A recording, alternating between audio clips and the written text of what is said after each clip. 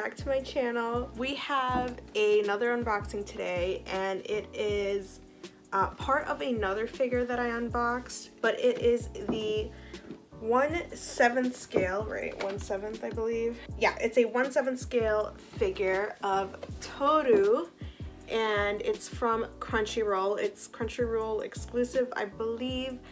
Uh, and it is the Maid Cafe version. But anyways, without further ado, let's get started. Um, please make sure you like and subscribe and let me know what you think in the comment section below. So initially I was going to unbox this with the Kanna one, but I ordered this from Crunchyroll and I do not have a good history of ordering with them. I've ordered like I think one figure from them and there was like no protective packaging whatsoever on there and that's how this one came in and the Kanna one came in so I was kind of a little too scared to risk waiting in case something was wrong with the Kanna. I would have wanted to like contact customer service right away.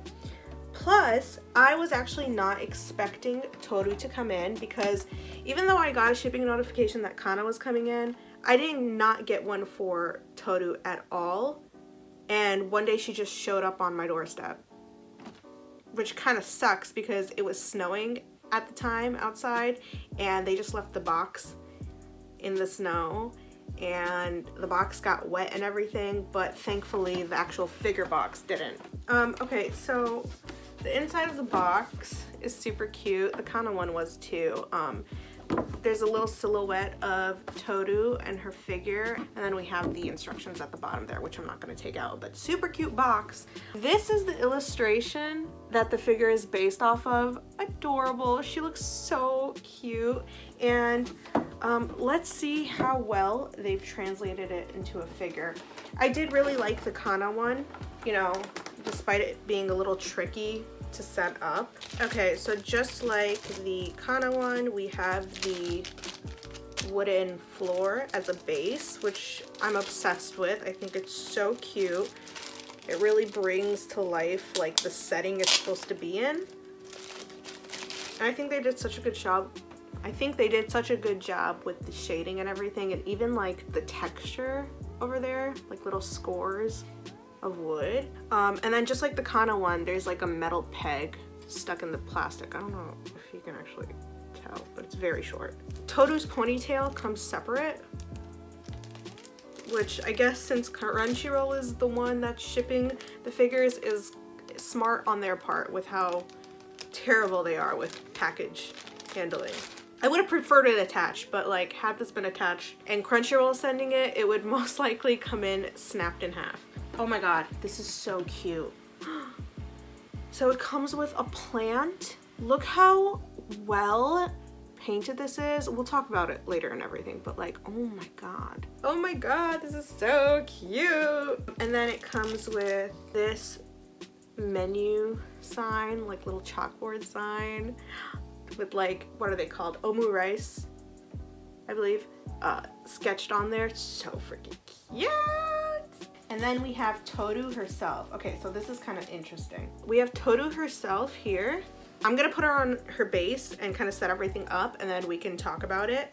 All right, I'm just trying to set it up how it's like set up on the image. You will see it more stable on the b-roll, but basically this is how it's supposed to be.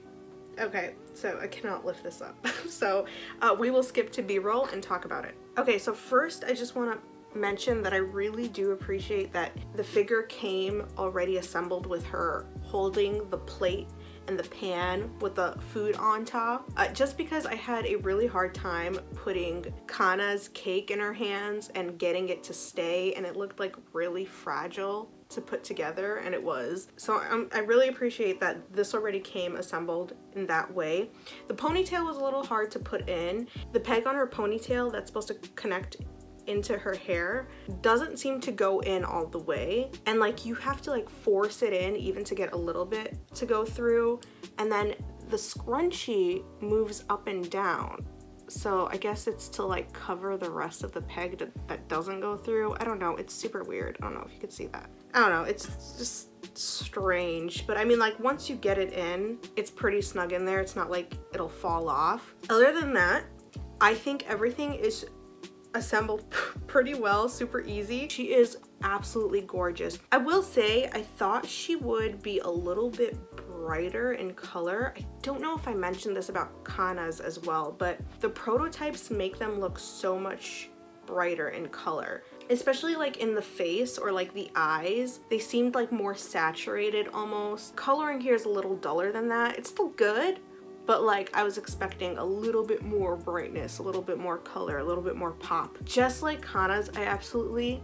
adore how the food is kind of like flying and is mid-air. It's kind of this candid shot for like flipping the food or whatever. This figure is so alive and I absolutely adore that. This is like one of like the main reasons I got this figure and I decided to take a risk on Crunchyroll's website. Um, but yeah, this is like super, super neat. I don't actually know if despite these plates coming assembled, um, I don't know if you can actually remove them, but I'm not about to find out. I absolutely love her outfit.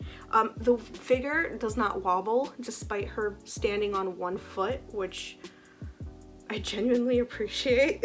oh my god. Especially because I suck at handling figures with care. But yeah, she's super cute. I love her expression. Everything is adorable. Her hair flows perfectly. So cute. I love how it wraps around her. I even really like the shading on the food. Like, I think maybe on the broccoli it could have been a little bit, there could have been like more darker tones. But overall, the like rice and the actual egg, looks perfect. Everything looks so good.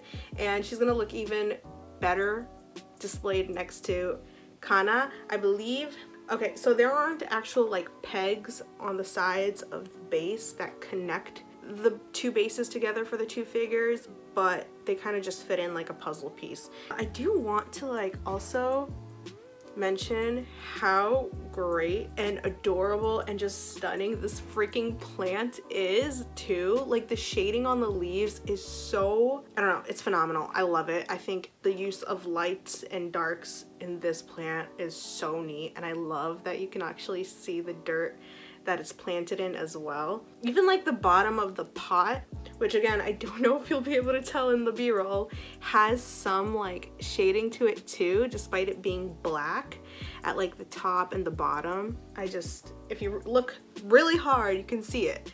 But I mean, I'm glad that they, even though it'd probably be hard to tell, I'm glad that they still added it on there. You know, the, the menu is kind of bland. I mean, it's it's cute on its own, even without like, I mean, it, it's got etch lines. I don't think it really needs a massive amount of shading. I think the main like star of this little prop is the little doodle in the front.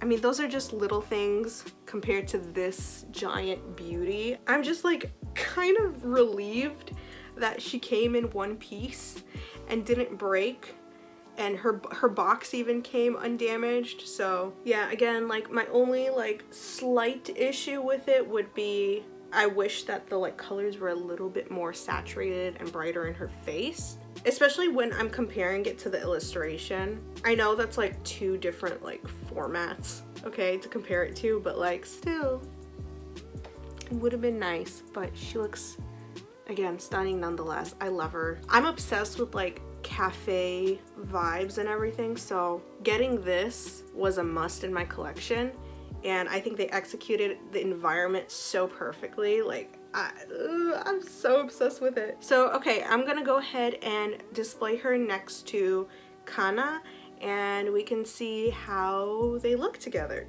Okay, y'all. So they fit perfectly.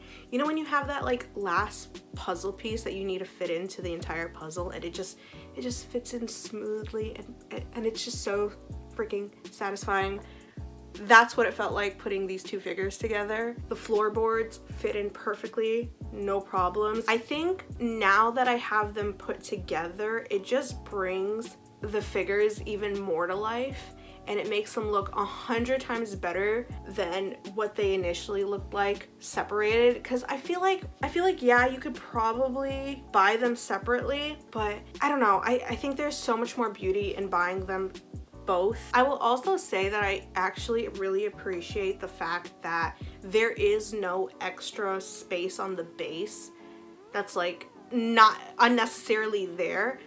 The figures take up the entire base space, whether it's like the characters themselves or the props next to them. I did actually want to mention though that despite loving this base and how well they fit together and the fact that there's no extra unnecessary base space on there, I hate that one empty spot in the middle. I wish they kind of just made one of the bases in the front for one of the figures longer a little bit so it would completely fit kind of like on the back where it's like just one straight line that like connects there's like no empty spots because I feel like now there's something missing there and it kind of bothers me. Again, despite this being sent by Crunchyroll, I'm so glad I took the risk on this figure. Uh, I don't know if I've heard anybody complaining that their figure came in broken. I Most of the complaints on my figure collection were the same ones I had where there was little to no protective packaging on the actual in the actual shipping box and that they were having shipping issues where they got notified that one figure got shipped and another didn't. I don't I don't know how that happened, but it did. It is what it is, I guess, but super super happy with these figures. I think they are so cute. I love this whole cafe vibe. And yeah, that was the Tohru 1-7 scale Maid Cafe version figure. I hope you enjoyed this video. Please let me know what you think in the comment section below. Uh, and I will see you in the next one, which is hopefully, hopefully soon. Bye-bye, guys.